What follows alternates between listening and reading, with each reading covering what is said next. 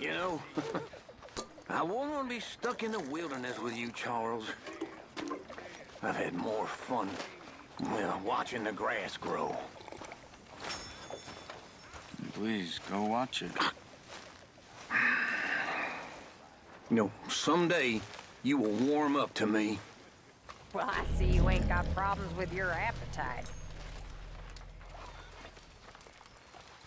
Is there any part of my existence you're not trying to ruin? I'm not sure I appreciate there, your Arthur. tone, girl. Well, I'm not sure I appreciate your smell. Marston. It's put me off my meal. Why don't you take a bath, please? I will not put up with much more of your tongue, miss. Did anybody lose a pile of turd? I think I found one. Oh my god. Some stories about when you was young and pretty before time ravaged you.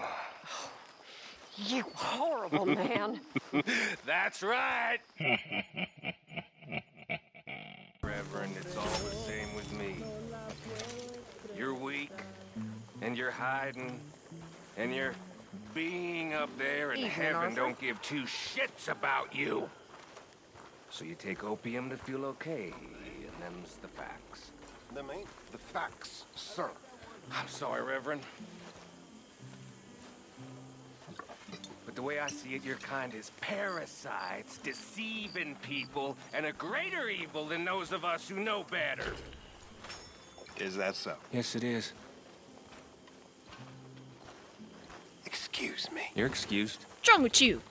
Subscribe.